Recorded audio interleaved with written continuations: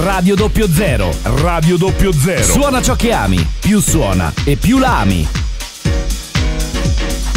The Diva oltre il successo è praticamente mm, uno spettacolo che potrebbe parlare ehm, sicuramente di eh, tutte le compagnie, di tutto eh, il mondo artistico in eh, generale.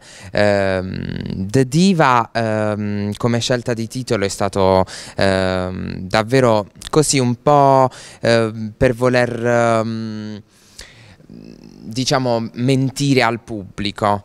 Uh, The Diva è molto cioè ci fa subito pensare a Hollywood ci fa subito pensare alle grandi donne del cinema. Uh, in realtà il vero titolo di questo spettacolo è Oltre il successo.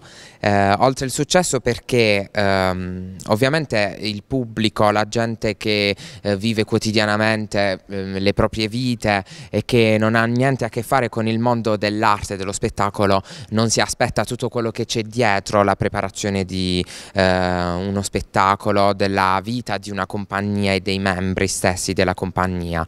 Quindi The Diva oltre il successo parla proprio di questo, vuole mostrare al pubblico eh, quello che accade nella vita quotidiana di ogni artista, quindi le invidie, le gelosie, ehm, la saccenza, la superbia, le storie anche d'amore ehm, la vera amicizia che eh, esiste anche. Eh, e quindi tutto quello che fa parte di questo, di questo mondo. Con The Diva Okiko si ripromette di, ehm, di, andare avanti, di portare questo spettacolo sicuramente eh, oltre, quindi eh, è questo che ci ripromettiamo e che promettiamo agli ascoltatori, ai nostri fans eh, e, e, anche a chi fans non è, eh, perché appunto questo spettacolo non è rivolto tanto a chi ci vuole bene.